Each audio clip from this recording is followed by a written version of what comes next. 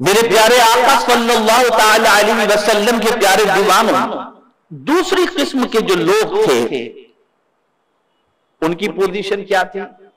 वो ये समझते थे, ये दुनियावी ज़िंदगी, इसमें हमारी ये रुकावट जो है, रूहानी तरक्की में रुकावट के लिए, ये खाना, पीना, जिनसी ताल्लुक कायम करना अच्छे कपड़े पहनना ये सारी चीज़ें रूहानी तरक्की के लिए रुकावट है। इसलिए अब कोशिश ये की जाए कि सब कुछ छोड़कर पहाड़ों के अंदर चला जाया जाए। राहिब बन जाया जाए। करके दुनिया की ज़िंदगी इख्तियार की जाए। कुरान ने इसको भी मना फरमाया। ये दूसरी किस्म के लोग थे।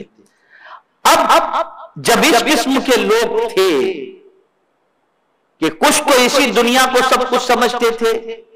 कुछ लोग खाने पीने को ज़िंदगी का मकसद समझते थे।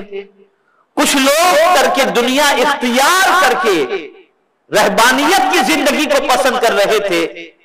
तो कुरान ने ऐसा निज़ाम अता फरमाया, जिस निज़ाम के अंदर एतदाल दरमियानी रविश परवरदिगार ने ज़ाहिर फरमाया। दुनिया का भी ख्याल आखिरत का भी ख्याल करो। भूखे भी रहो, खाना भी खाओ। ये सारा निज़ाम अल्लाह ने अता फरमाया। और कुर्बान जाइए, जब मैं इस आयत के हिस्से को जब मैंने पढ़ा तो तबीयत मचल गई, अल्लाह पर तबीयत इस एतबार से मछली की कुरान ने रोज़े का मकसद बयान फरमाया लाल तत्तकून ताकि तुम परहेजगार बन जाओ।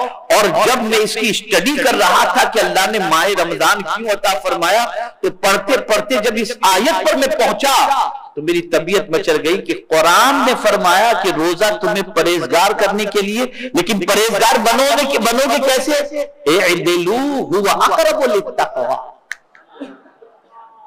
इख्तियार करो, यानी दरमियानी चाल इख्तियार करो। ये तकवा से बहुत ज़्यादा करीब है।